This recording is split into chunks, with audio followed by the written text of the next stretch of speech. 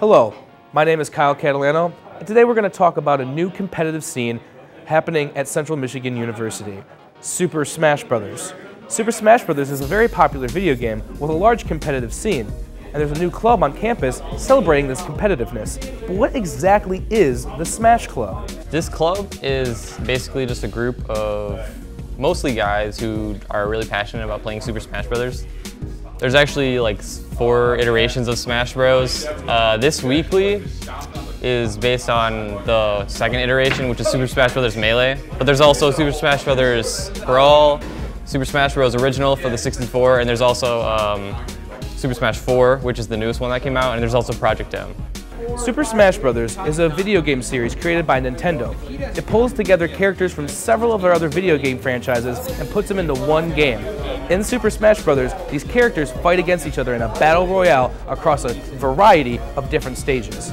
Like a lot of the people in here, they'd never played Smash Bros. before, but they walked by the room um, and they're like, hey, what's going on in here? Can I get in on this? And now they're like some of the best players that we have. This is just a really open club to any type of person who wants to, uh, you know, feel the competitive environment of Smash or even just enjoy the like the friendly aspect of Smash because Smash is a really good game. To get where we are right now, I think a lot of it's kind of just happened from from just like searching out uh, for students before the club has started because before this there was just like six or eight of us that just played.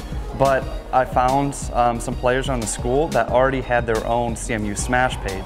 So I found a lot of people from that and then once we started hosting we went from you know like the six of us or so to like upwards of 30 here which is really great. Michigan is its own region from like you know the national level the most concentrated Smash players are in the US, around like California. However, Michigan's Smash scene um, has been growing pretty rapidly. We're all right. I'm the only one, I'm ranked around 15th in Michigan. No one else in, in like this club is really ranked, but we're all like growing, all, we're all growing as players. And first step to getting, you know, ranked is you just have to go to bigger tournaments, out like statewide tournaments. And then if you do well there, then you can start getting ranked. I've just been to one big one is Sweet at uh, Lansing and so uh, there's one, I think the number one ranked guy was a Duck there.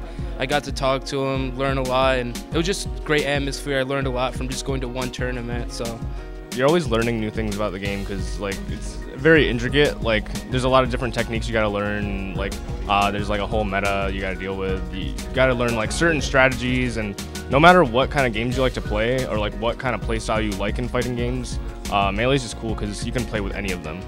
If you're interested in joining Smash Club, they meet in Pierce Hall, room 124, on Mondays, Tuesdays, and Thursdays at 6 o'clock.